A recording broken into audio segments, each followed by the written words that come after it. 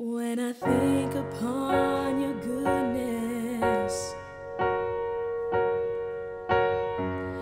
and your faithfulness each day,